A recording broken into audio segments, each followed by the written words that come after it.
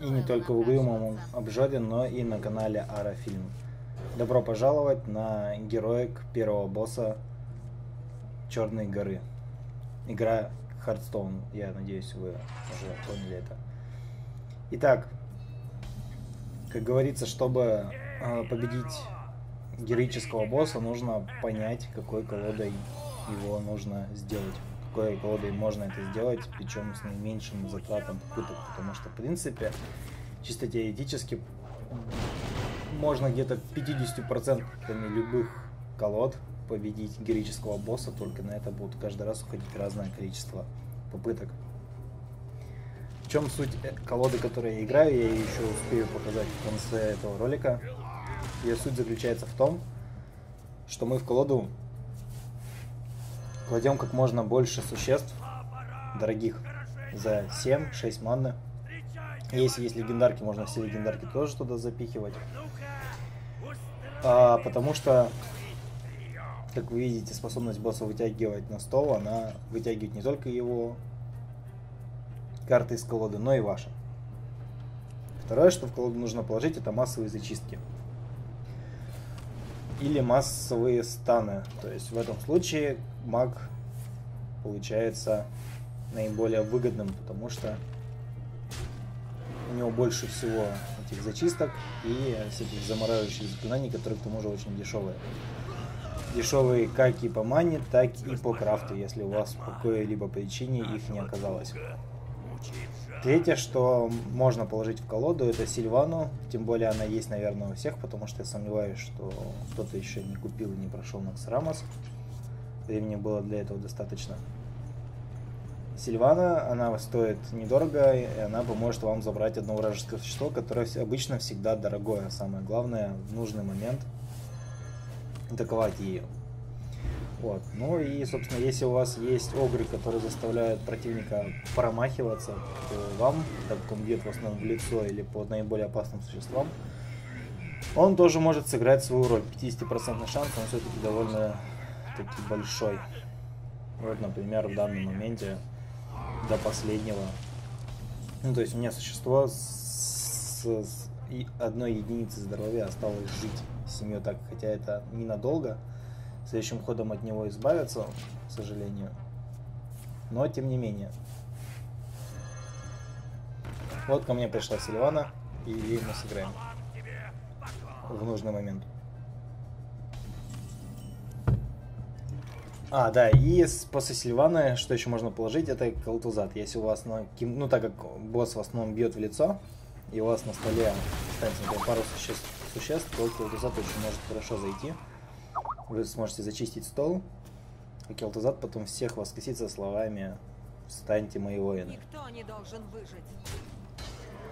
Вот. Ну, что у нас по ситуации на доске в данный момент? У меня 17 здоровья, противник почти не, еще не покоцанный него очень неплохо зашли сейчас все карты, все существа на доске. Он контролирует доску. Никто не должен выжить.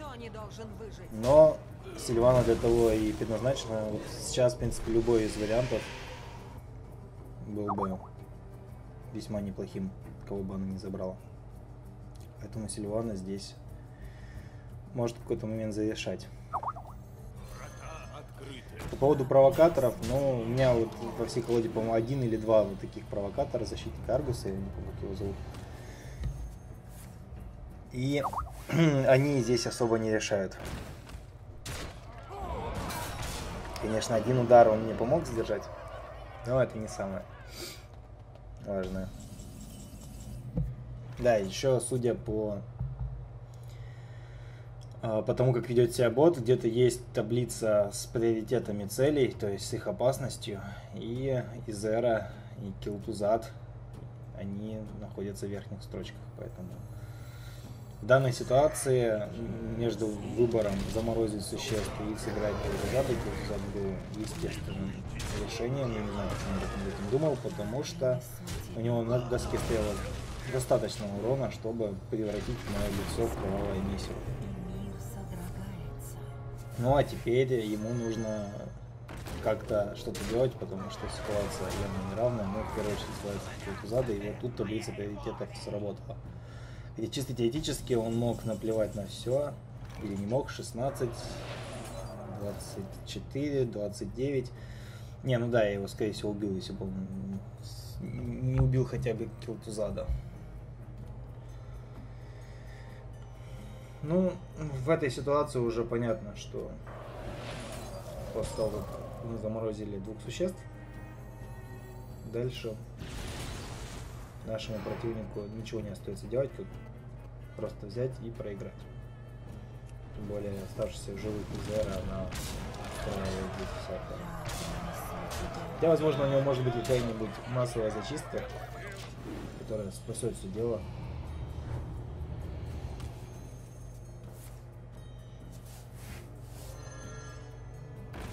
Ну и да, есть такая у меня. Кстати, заметил, у нас колоду ничего не вытащил, значит, у меня все существа в колоду закончились. Ставить только заклинание. Да, и потасовка это та зачистка, которая работает всегда.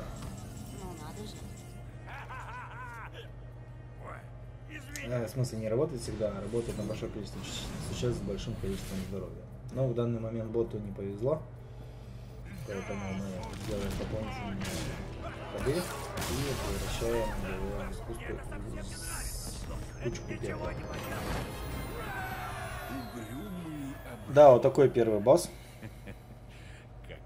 Не очень сложный, но и в принципе заставляет хоть немного над чем-то задуматься, за что компании Blizzard отдельное спасибо, потому что испытываешь большое удовольствие, когда сам придумаешь колоду, она работает, и ты справляешься в ограниченное количество ходов с боссом. Ну, собственно, колода мага вы можете поставить на мои заклинания, которые я положил. Э, Все вполне таки стандартно. Зачистки массовые и массовые замораживающие, они весьма дешево стоят, поэтому можно их скрафтить, если нет. Ну а я на этом с вами прощаюсь. Спасибо, что посмотрели. Удачи и до встречи в следующем видео.